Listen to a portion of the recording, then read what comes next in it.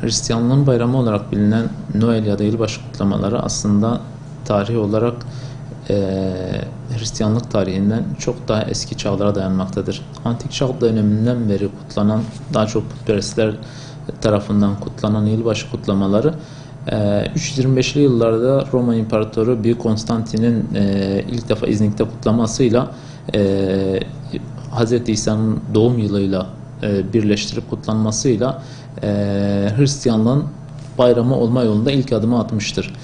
E, 20. yüzyılın başlarında ise Avrupa'nın tümüne sonra Amerika'ya ve sonra e, İslam ülkelerine yayılıp bir yerde kültürümüz, dinimiz ve tarihimizle hiçbir bağlantısı olmayan bir e, zararlı alışkanlık, virüs diyebileceğimiz bir alışkanlık hayatımıza girmiş oldu.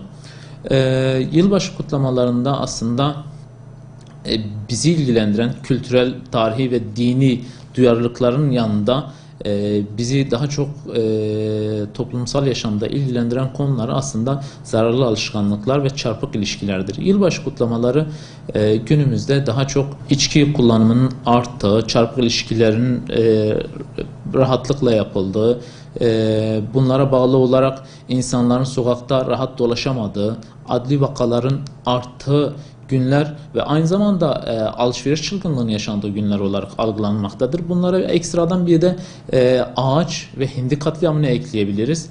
Bunlar aslında tümüyle e, toplumun bütün dinamiklerini etki eden, negatif yönde etki eden bir oluşum haline almaktadır Noel. Bunun yanında aslında devletin buna milli piyangoyla kumar noktasında destek olması ayrı bir acı durumdur. Aslında e, devletin işte anayasadan gelen yükümlülükleri vardır. E, vatandaşını kumardan, içkiden ve kötü alışkanlıklardan koruma gibi bir e, zorunluluğu vardır aslında. Fakat buradan maalesef kumar milli piyango aracılığıyla devlet eliyle uygulanmaktadır. Diğer taraftan yılbaşı e, tatiline anlam vermekte zorlanıyor insan aslında.